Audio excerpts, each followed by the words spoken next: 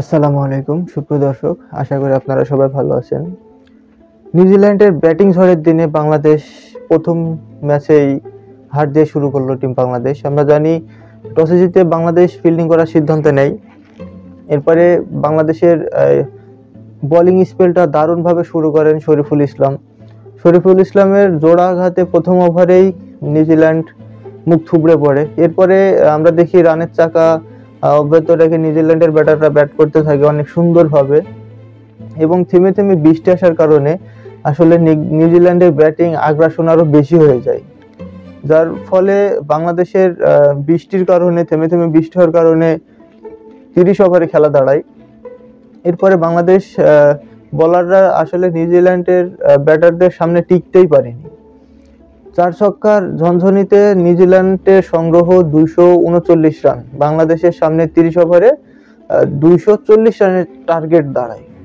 এরপরে শুরুতেই সৌম্য সরকারের ডাক। আমরা জানি সৌম্য সরকার প্রস্তুতি ম্যাচে ফিফটি রান করেছেন এবং দুর্দান্ত বল করেছিলেন।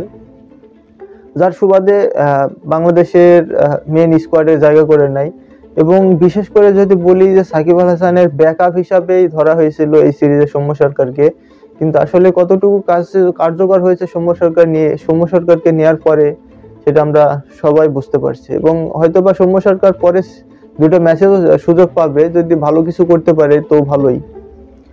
আমি যদি আলাদাভাবে বলি, বাংলাদেশের যে ব্যাটসম্যান এনামুল হক বিজয় দুর্দান্ত ফর্মে আছেন বর্তমানে। আসলেই ভালো কিছু করার ইঙ্গিতই দিচ্ছেন এনামুল হক বিজয়।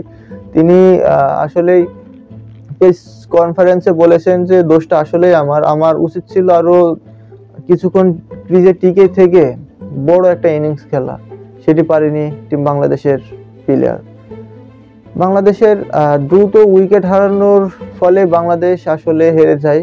বাংলাদেশ দুশো রানেই থেমে পড়ে। তিরিশ ওভার শেষে বাংলাদেশের সংগ্রহ নয় উইকেটে দুশো রান। এখানে যদি আমি বলি, বিশেষ করে মুশফিকুর রহিমের রিভার সুইপ এনামুল হক বিজয়ের শর্ট বলে পুল করা সৌম্য সরকারের স্লিপে ক্যাচ তুলে দেওয়া, সব মিলায় যদি সবাই সবার দায়িত্বটা ঠিকভাবে পালন করতো, তাহলে কঠিন একটি লক্ষ্য হতো না। কারণ যে ফিল্ডে খেলা, আসলে ব্যাটিং সহায়ক পুরোপুরি এই উইকেট। এই উইকেটে রান করা খুবই সহজ।